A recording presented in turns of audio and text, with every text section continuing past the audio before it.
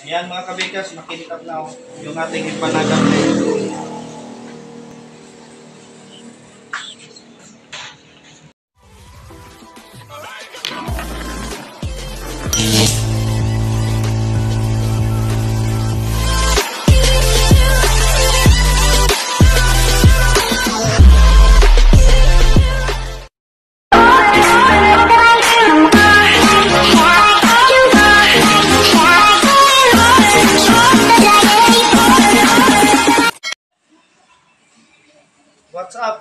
Mga kabakers? Gagawa tayo ng empanada bread. Ito, nandito po lahat yung mga ingredients na ilagay natin. Unahin ko yung brown sugar, 160 grams, salt, asin, 10 grams, powder milk, 50 grams, bread improver, 5 grams, vanil vanilla 10 grams at saka tubig 1 can. Tapos haluin lang natin mga kabaker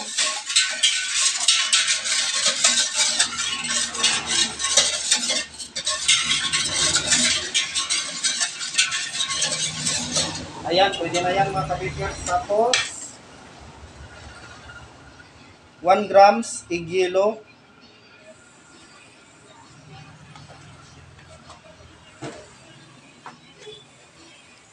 Tapos, lard, 50 grams. Margarine, 50 grams.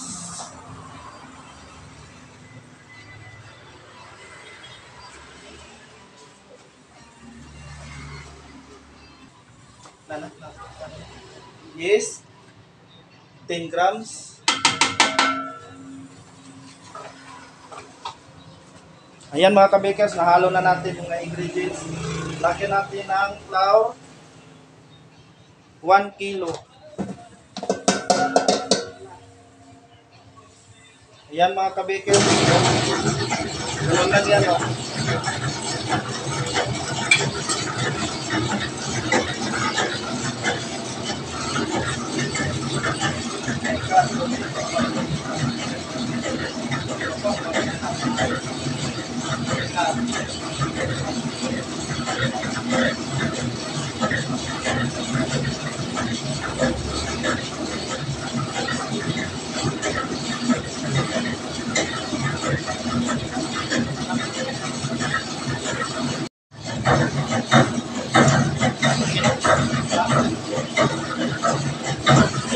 pwede na to Ayan mga kabakers, pwede na to.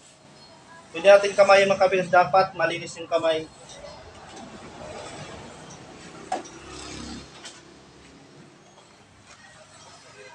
Tapos mga kabakers, ano tayo dito sa roller.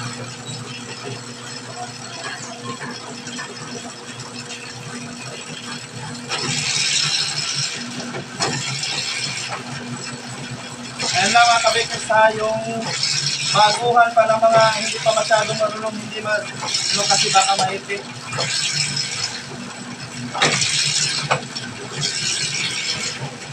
Dapat may mag, mag, magbantay sa kanila na mag, na marunong humawak nito. Kumando.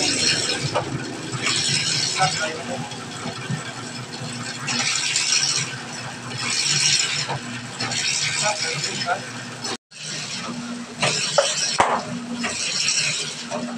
mga kabakers, pwede na to.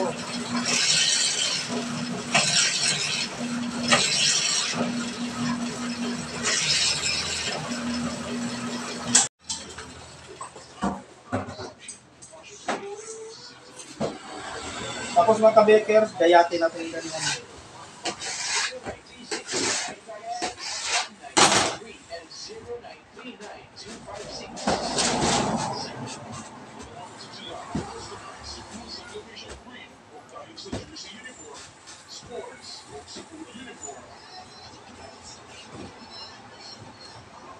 Tapos mga kabakers, putuloy natin. Oh.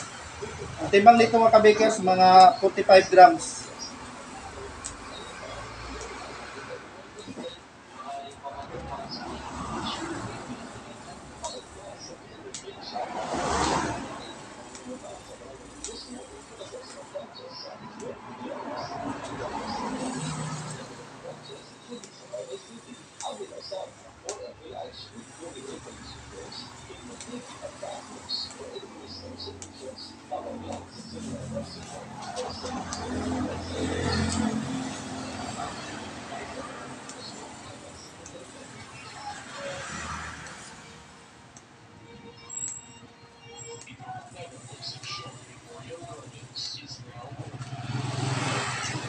Yan mga kabakers, tapos na. Yung susunod natin gawin mga kabakers, ganatuhin lang natin. Oh.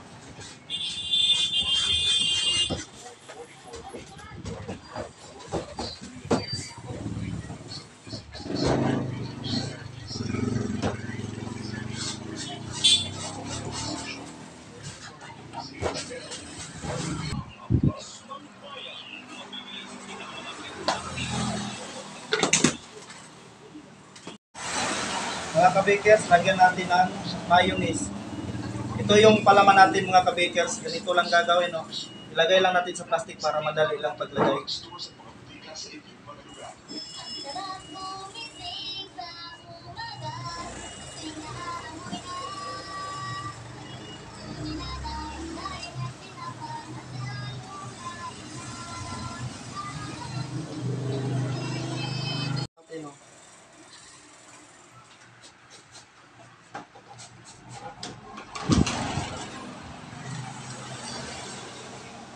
Dapat mga kabakers, hindi lalabas yung ano, palaman para dumikit siya.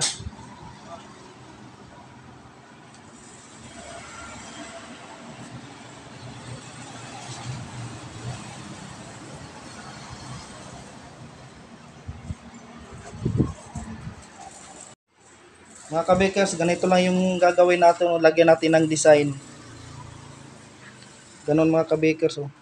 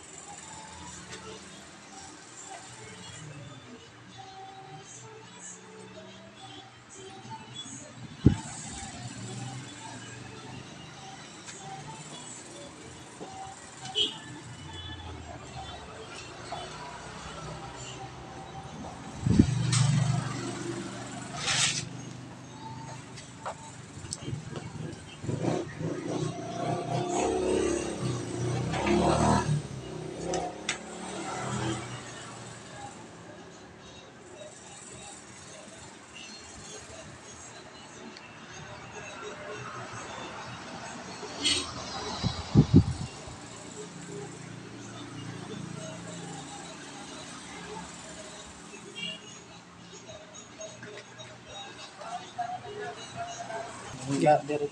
Bakers, i-raise po natin to ng 3 hours bago isa lang.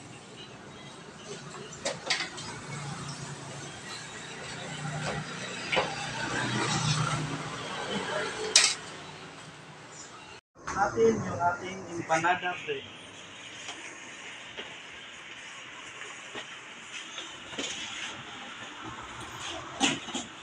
Yung apoy natin, katamtaman lang mga kabikers.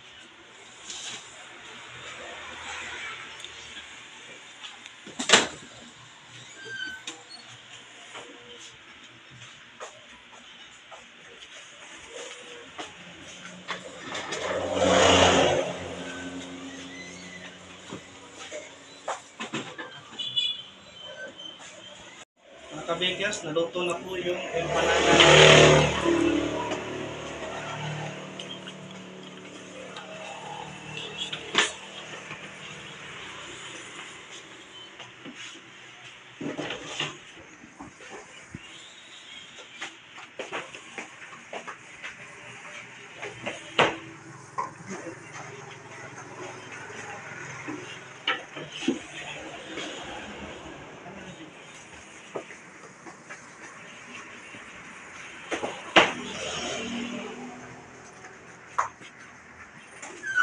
Natin ng margarine para kuminta po mga kabikers.